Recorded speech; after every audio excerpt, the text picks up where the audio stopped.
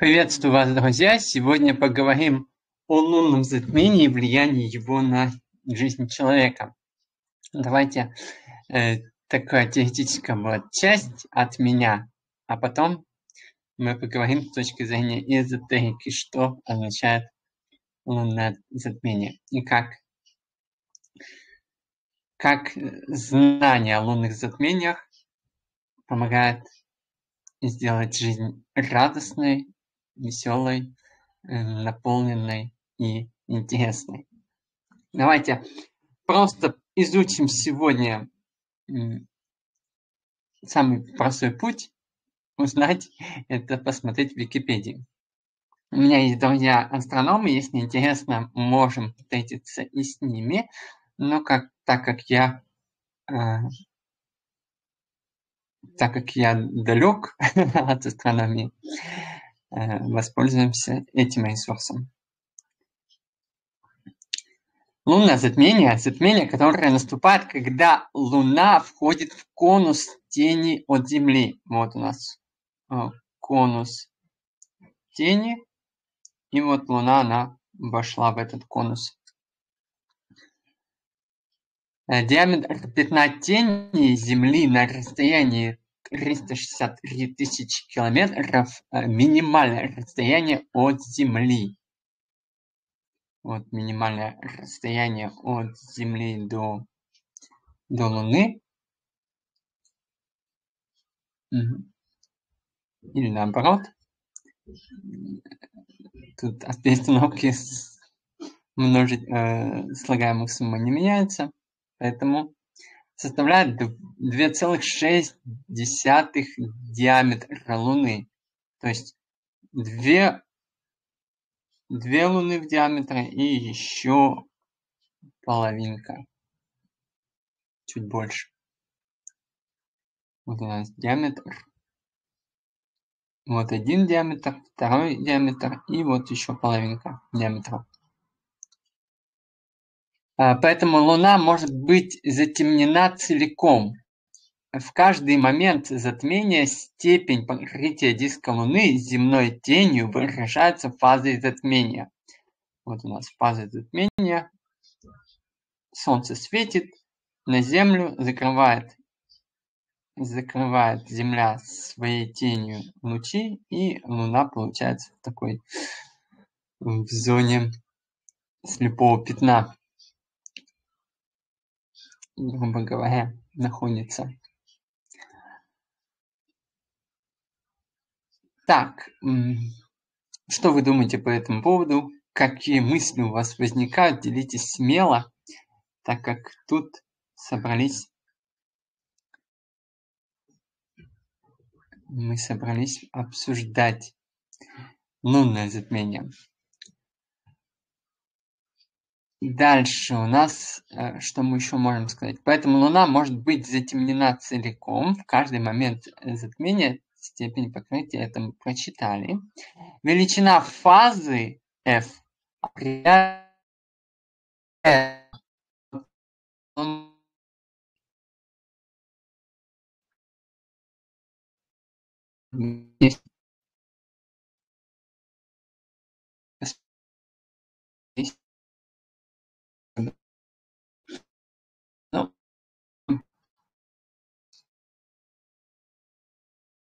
Поэтому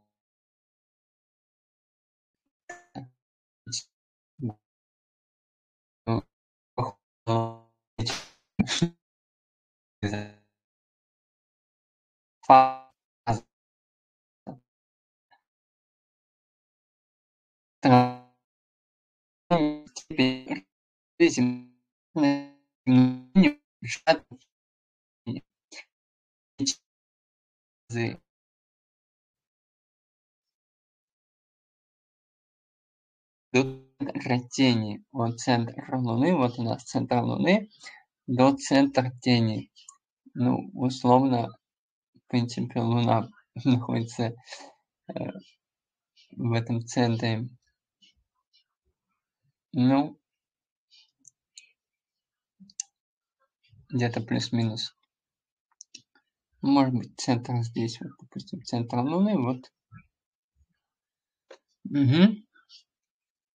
У кого с глазомером получше, можете рассказать свои версии. Это тоже интересно и важно. А, до центра тени в астрономических календарях проводятся величины f и θ для разных моментов затмения.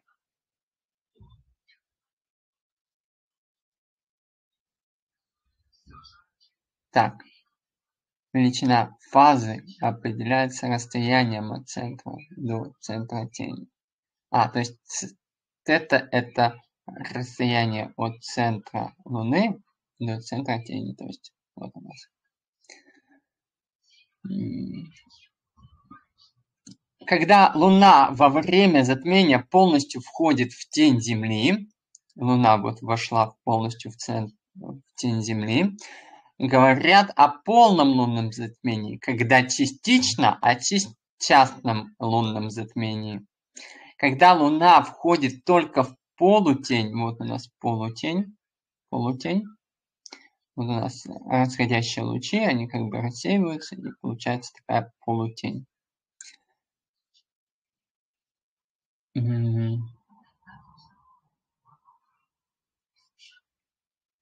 Говорят о частном полутеневом затмении. То есть у нас э, разные затмения бывают, как минимум три вида тут выделяются. Необходимыми условиями наступления лунного затмения являются полнолуние и близость Луны к узлу ее орбиты. Полнолуние, то есть Луна хорошо видно, вся видна. Э, и близость к узлу ее орбиты.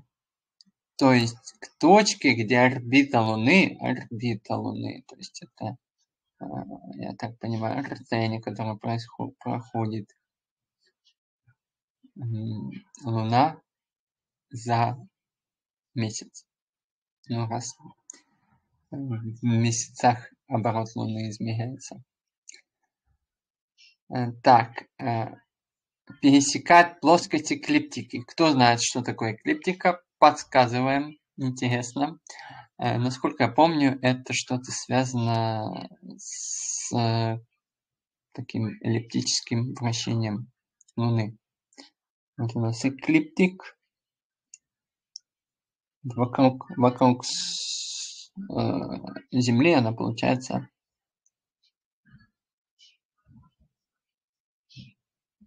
Да, вот путь Луны, соответственно, экватор, и небесная сфера.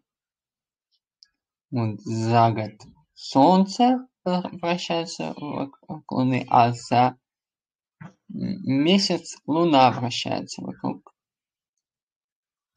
Земли. Наоборот, я имею в виду, э, Земля вращается вокруг Солнца, за обращается вокруг Солнца, а Луна за год обращается вокруг Луны. Вот такая зависимость. И у нас есть еще 8,6 года. Кто знает, что означает вот это N1? Пишите в комментариях, будет интересно узнать. Так, эклиптика. Ну, насколько я помню, это Виктория. Луны. Но пишите свои комментарии, тоже будет интересно узнать. А, пересекать плоскости эклиптики. А, лунное затмение происходит, когда выполняются одновременно оба эти условия. То есть у нас полнолуние и близость к узлу Луны к узлу ее орбиты. Как видно для наблюдателя на Земле, на мнимой небесной сфере Луна пересекает эклиптику. Вот мнимая небесная сфера, Луна пересекает эклиптику. Вот она Луна, вот эклиптика. А как ее пересекает, когда вращается вокруг. Земли. Э, два раза, два раза. То есть вот здесь пересекает и здесь пересекает.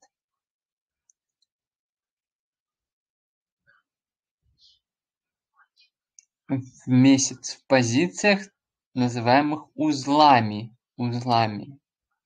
А, вот это, наверное, N2 и N1, это как раз вот узлы, где Луна пересекает эклиптику. Полнолуние может прийтись... А, а что вы думаете по, по этому поводу? Пишем, не стесняемся. И, конечно же, радуемся новым открытиям, новым свершениям, новым знаниям. Луна пересекает эклиптику так. А полнолуние может прийтись на такую позицию, на узел, когда можно наблюдать лунное затмение. Полнолуние на позицию, на узел, когда можно наблюдать лунное затмение. То есть в одной из этих точек может быть Земля полная, полнолуние. Хорошо видно. Вся. Ну, большая часть поверхности. Э, проекция поверхности, так скажем. Эм, пишите, как, как вы думаете, как это называется по-научному? Тогда можно наблюдать лунное затмение. Примечание, масштаб не соблюден. Да, тут у нас масштаб не соблюден, просто для наглядности. Все. Ну и давайте про лунное затмение прочитаем. Лунное затмение может наблюдаться на всем полушарии Земли, то есть э, на всем полушарии лунное затмение. Вот у нас полушарие Земли и на всем полушарии лунное затмение, то есть на всем полушарии. Ну да, как правило, на полушарии бывает затмение. На противоположном, соответственно, солнышко светит. Угу. Обращенным в этот момент к Луне. Ну вот мы посмотрели, к Луне обращаем, обращена это, это полушарие, поэтому и лунное затмение как раз в нем и будет. На противоположном все, все в штатном режиме, как говорится, происходит. То есть там, где на момент так, это мы сказали. Ну да, то есть там, где на момент затмения Луна находится над горизонтом. Луна находится над горизонтом на момент затмения. Вид затемненной Луны с любой точки Земли, э, где она вообще видна, практически одинаков. Э, в этом состоит коренное отличие лунных затмений от солнечных, которые видны лишь на ограниченной территории. Максимальная теоретически возможная продолжительность полной фазы, полной фазы лунного затмения, составляет 108 минут. Вот такие длинные у нас могут быть затмения. 108 минут, это у нас получается в часах 60 э, часов 48 минут. Ой, 60 часов. Час, час 48, почти 2 часа. Правильно, я считал, то у нас математики. Проверяем. А, так, идем дальше. Такими были, например, лунное затмение 26 июля 1953 года, год смерти Сталина, и 16 июля 2000 года. Ну, давайте вспомним, что было в 2000 году. А, в 2000 году, как вы думаете, какие знаковые события происходили в этот момент, чтобы нам привязать эту информацию к уже имеющейся? Угу. Может быть, у вас 953 год с чем-то другим ассоциируется, может быть, у вас брат родился или кто-то из родственников. Пишите, пишите, будет интересно узнать. При этом Луна проходит через центр тени. Луна проходит через центр тени. Вот у нас а Луна, она проходит через центр тени. Вот, как раз на рисунке примерно так и показано. А Луна проходит через центр тени, земной тени. Полное лунное затмение такого типа называют центральными. Вот у нас центральное лунное затмение. Они отличаются от нецентральных большей продолжительностью и меньшей яркостью Луны во время полной фазы затмения. То есть у нас а, Луна, во-первых, не так хорошо видна, такая бледная луна сквозь тучи мрачно желтела. Э, ну, там другие могут быть цвета, а, а важно, что ее плохо видно. Плохо видно, почти не видно. И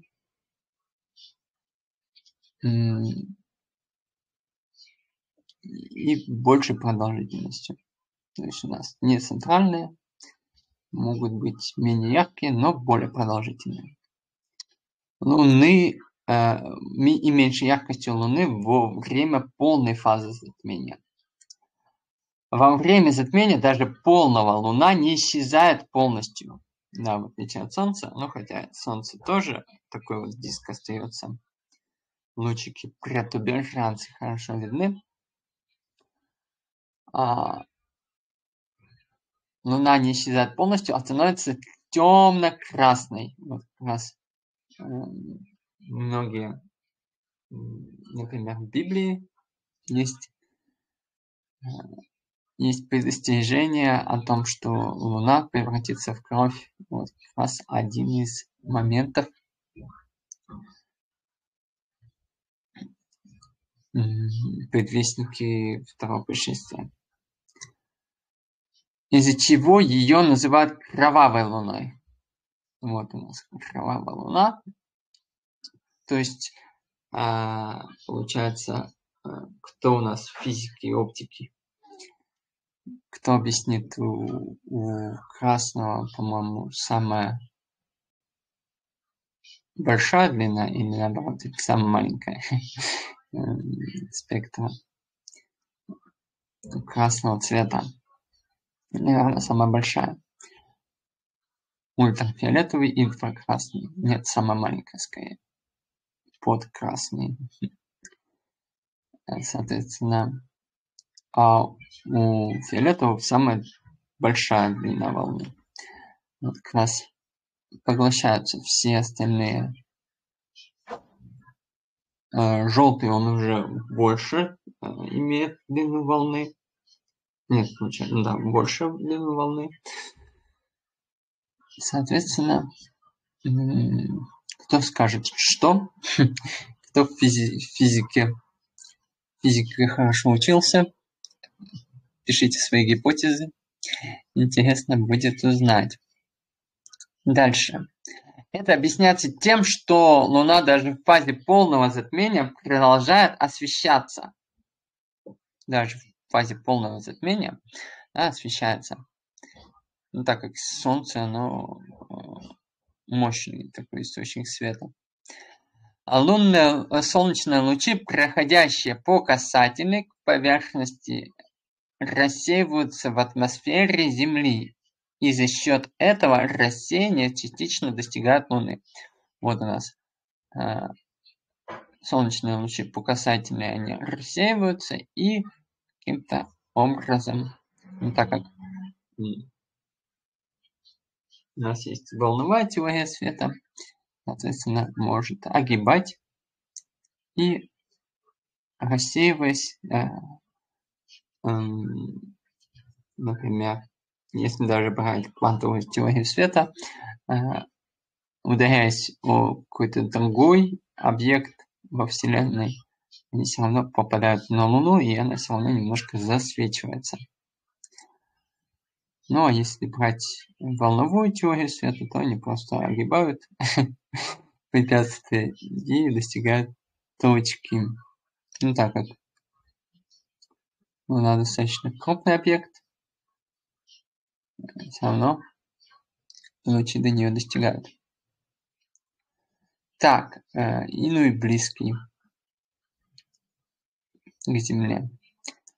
Так, а у вас какие предположения по поводу этого?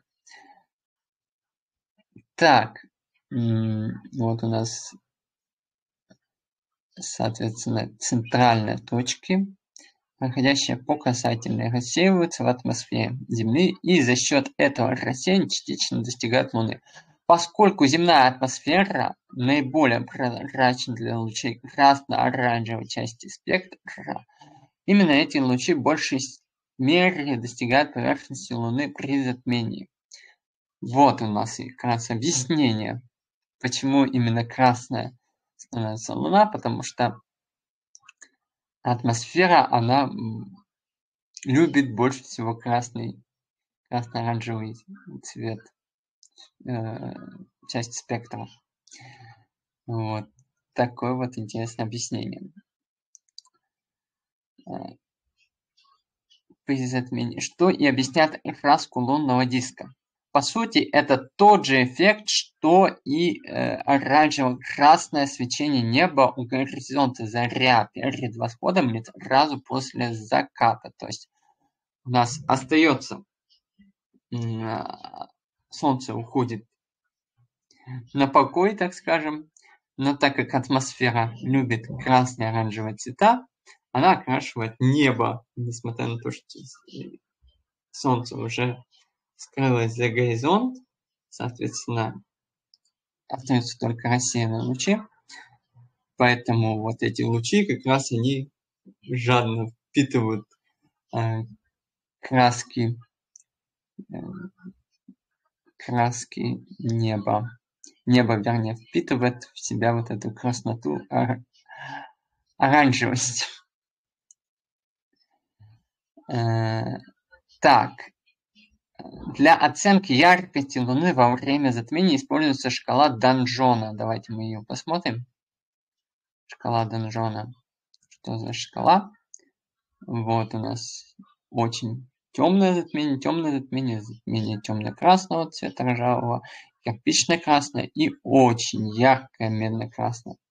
Вот такая у нас шкала Данжона. Было бы интереснее, конечно, посмотреть на ну, мы можем посмотреть, если время останется, э, именно шкалу картинки. Так, Данжона. Где же наш Данжон? Угу.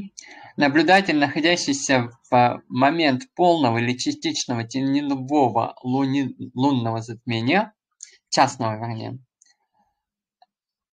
теневого затмения на затененной части Луны видит полное затмение Солнца Землей. То есть у нас не видно не только Луну, но и Солнце. Ну, Солнце не видно по объективным причинам, потому что может наступила ночь. Угу. Частное затмение. Вот мы рассмотрели полное затмение, теперь давайте с частным разберемся. Начнем, по крайней мере, разбираться. Скоро к нам присоединится Валентина и начнутся эзотерические протуберанцы. Если Луна падает, попадает в полную тень Земли, полную тень, вот у нас полная тень у нас,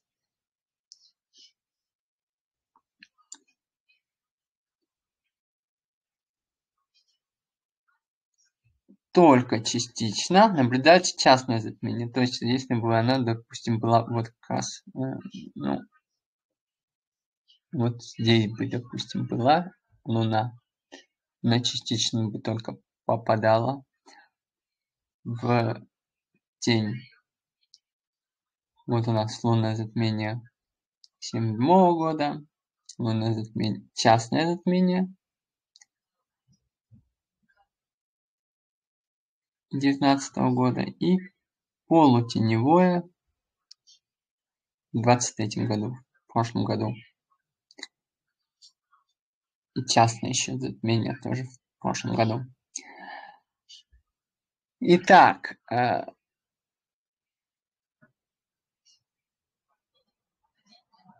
при этом та часть Луны, на которой падает так, оказывается темной, падает тень Луны, оказывается темной, но часть Луны даже в максимальной фазе затмения остается в полутени и освещается солнечными лучами. То есть у нас а, она все равно даже ушла в тень, тень, но попадает все равно не в свет, а в полутень. Если у нас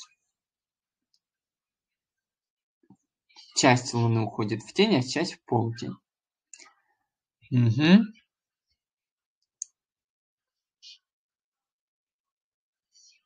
Наблюдатель на Луне, находящийся в полутеневой зоне, видит частное затмение Солнца Землей. Да, если вам посчастливится побывать на Луне, то можете наблюдать частное затмение Солнца Землей. То есть для жителя Земли то Земля закрывает Солнце.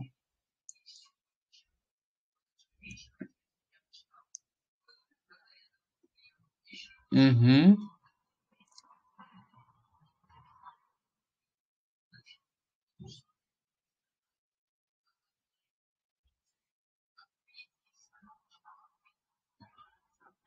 М.